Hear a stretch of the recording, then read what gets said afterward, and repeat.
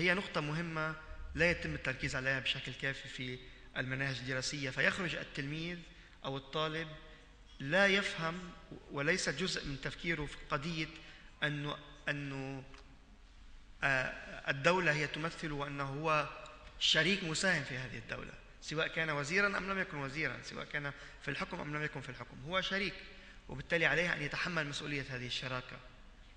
هذه قيمة أولى. القيمة الثانية هي الشجاعة في قول الرأي والشجاعة في المراقبة والشجاعة في أو الابتعاد عن هذا الخوف أو الرقابة الذاتية أنه خلص فساد.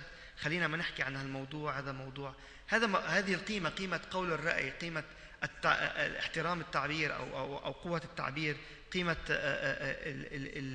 حرية التعبير هي قيمة أساسية جدا في موضوع مكافحة الفساد. عندما نرسخ هذه القيمة بشكل جيد كحق ولكن أيضا كمسؤولية نكون أيضا في الطريق نحو ترسيخ قيم النزاهة أو أو تمكين الأجيال المقبلة من مكافحة الفساد.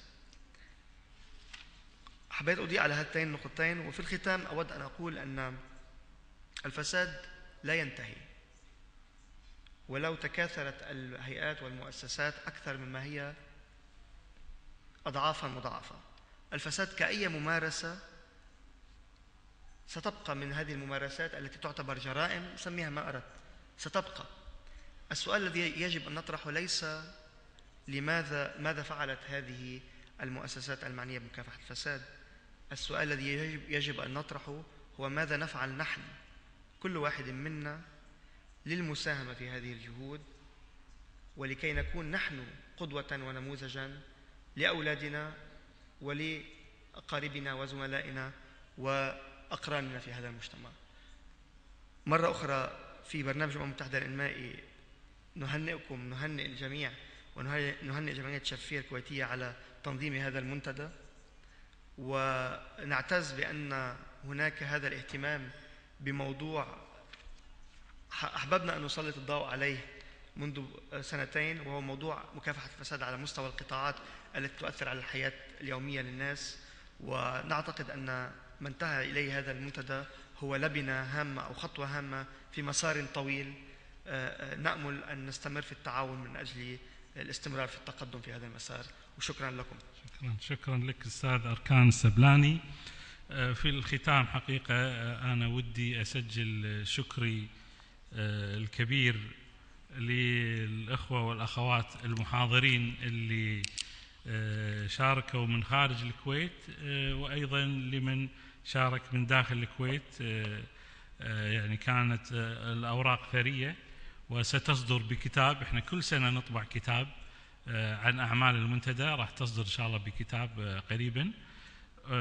فلهم كل الشكر على مشاركتهم. أشكر أخواتي الفاضلات المقررات مقررات الجلسات الأربع اللي موجودين على المنصة على يعني قدموا لنا خلاصة وزبدة هذا المنتدى. أيضا أشكر اللجنة التحضيرية والفنية المنظمة للمنتدى زملائي وزميلاتي اللي ساعدونا وتعاوننا كلنا مع بعض في إعداد هذا المنتدى. وطبعا الشكر موصول للأخ أركان السبلاني من برنامج الأمم المتحدة الإنمائي. هذا النشاط ليس الأول ولن يكون الأخير وسيكون بيننا إن شاء الله تعاون سواء في الكويت أو في مناطق أخرى في وطننا العربي.